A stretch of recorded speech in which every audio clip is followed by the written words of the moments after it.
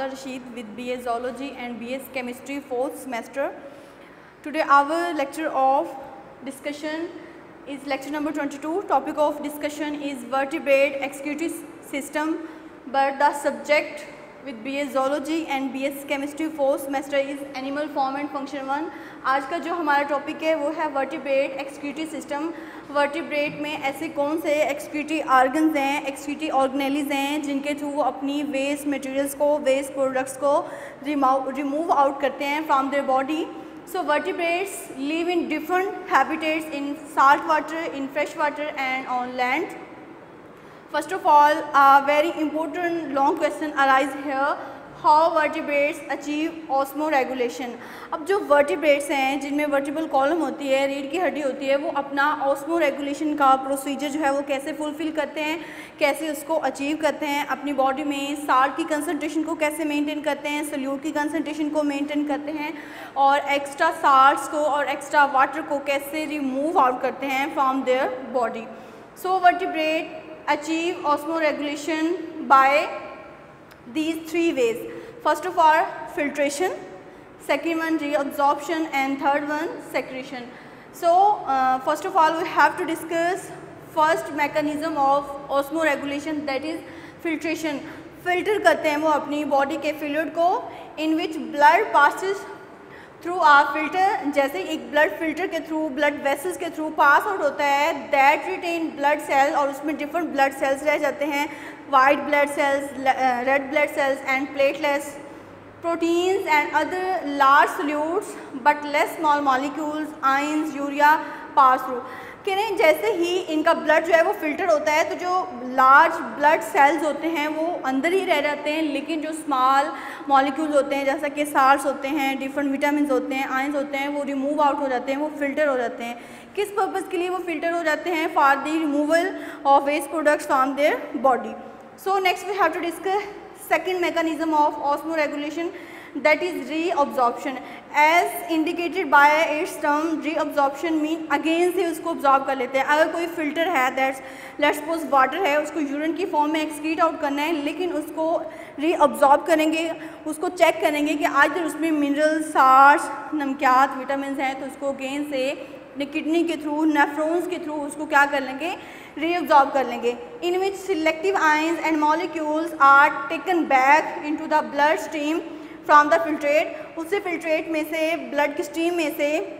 Blood की circulation में से जो सिलेक्टिव आयंस हैं विटामिन हैं, वो अगेन से रीअब्जॉर्ब कर लिए जाते हैं। आफ्टर दैट हमने बात करनी है सेक्रीशन की। फाइनली जो हमारे पास वेस्ट मटेरियल है, उसको सेक्रीट आउट कर देना है, उसको रिमूव आउट कर देना है from their body so whereby select ions वो आइन सिलेक्ट कर लेने हैं, जिनको बॉडी से बाहर रिमूव करने हैं। And products different waste product metabolism की, जैसा कि पोटाशियम है हाइड्रोजन एमोनिया है। That are in the blood are added to the filtrate वो देन फिल्ट्रेट एक ट्यूब होती है एक वेसल बनी होती है जिसमें फिल्ट्रेट को ऐड कर दिया जाता है for the removal from the body finally जो है वो अपनी बॉडी से रिमूव आउट कर देते हैं. सो so, नेक्स्ट हमारे पास जो टॉपिक है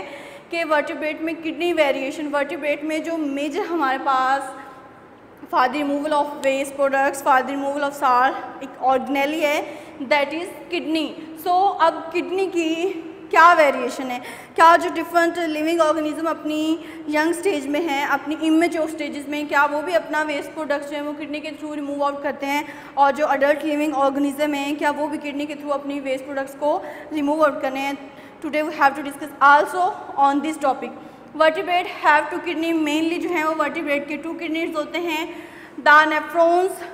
primary and structural unit of kidney is nephron so different nephrons appears only brief in many vertebrates embryo उनके एम्ब्रियो में अपियर होती हैं and not all in mammalian embryo कह रहे हैं, बेटा, जो जितने भी मेमेलियन एम्ब्रियो है, ज़रूरी नहीं है कि उसमें नेफ्रोन जो है, वो किडनी का structure and functional unit appear हो. वो जस्ट ब्रीफली जो है, वो इन सम वर्टिब्रेट्स में अपियर होता है, लेकिन उनकी एम्ब्रियो स्टेजेस में. नेक्स्ट जो है वो मीज़ो नेफ्रोन्स हैं। अगर आप नेफ्रोन जो है उसका किडनी फ़ंक्शन यूनिट है उसकी फर्दर डिवीज़न स्मॉल जो है tubules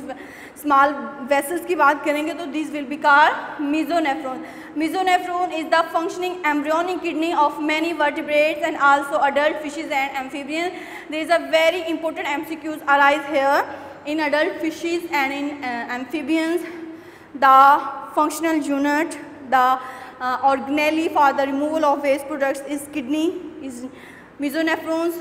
metanephrons yeah, all of these so then you have to take only mesonephron so mesonephrons ऐसा ऑर्गेनेली है ऐसा स्पेसिफिक ऑर्गन है जिसके थ्रू अडल्ट फिशेस और एम्फीबियंस अपने वेस्ट मटेरियल्स को रिमूव आउट करती हैं दैट इज़ मीजोनेफ्रॉन्स उसके बाद क्या है कि the mesonephrons gives way during embryonic development to the metanephros उसके बाद फर्दर जो है इनकी स्टेजेस में इनकी डेवलपमेंट में मेजोनेफ्रोन्स जो है वो मेटा मेटानेफ्रोज में कन्वर्ट हो जाते हैं in adult reptiles birds and mammals अगर आपसे पूछा जाए कि रेप्टाइल्स में बर्ड्स और मैमल्स में जो फंक्शनल यूनिट है for the removal of waste product and for osmoregulation kidney mesonephrons, या all of these, then you have to take on metanephros so adult fishes में और एम्फीबियंस में जो ऑर्गनेली है for the removal of waste product and for osmoregulation is mesonephros जबकि adult reptiles birds और mammal में जो फंक्शनल यूनिट है that is metanephros then you have to go in the next अगर आप शार्क फिशेस की बात करें तो shark fishes have rectal gland that is also a very important MCQ कि जो शार्क फिशेस हैं, एक स्पेसिफिक फिशेस हैं, इनमें किडनी नहीं होते, बल्कि इनमें रेक्टल ग्लैंड होते हैं instead of kidney that secrete a highly concentrated sodium solution. NaCl का solution glands, as you know कि gland का क्या फ़ंक्शन होता है? टू secrete डिफरेंट लिक्विड्स वो लिक्विड को सक्रीट आउट करते हैं हार्मोन्स की सूरत में केमिकल की सूरत में, जो रेक्टल ग्लैंड्स होते हैं डिफरेंट स्वेट ग्लैंड्स होते हैं, वो पसीना खाज करते हैं और इसी तरह इनके डिफरेंट सार के सोल्यूशन जो है वो सक्रीट आउट होते हैं रेक्टल्स ग्लैंड के थ्रू आफ्टर दैट हमने बात करनी है that is last topic that is teleost fishes अब जो टेलियोस फिशेज हैं have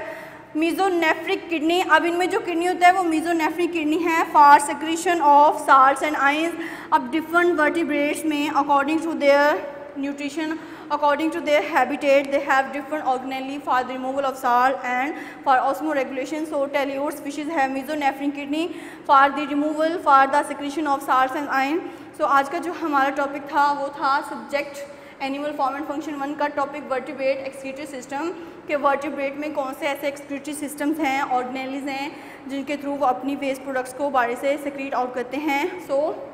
vertebrate live in different habitat salt water fresh water and in on land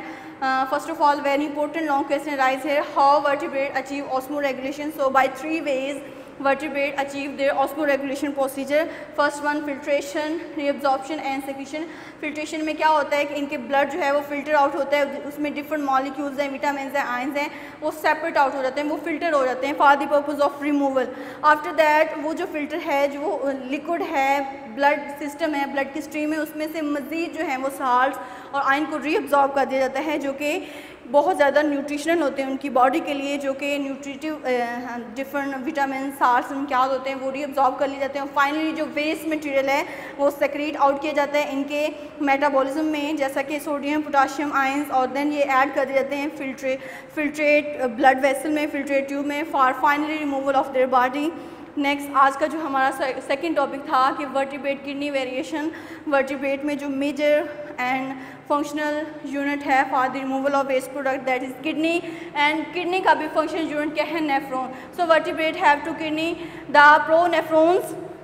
appears only brief in many vertebrate embryo different vertebrate के embryo में pronephrons appear होती हैं just in many vertebrate not in all mammalian embryo ज़रूरी नहीं है कि जितने भी मेमल्स हैं, उनके एम्ब्रियो में आपको जो किडनी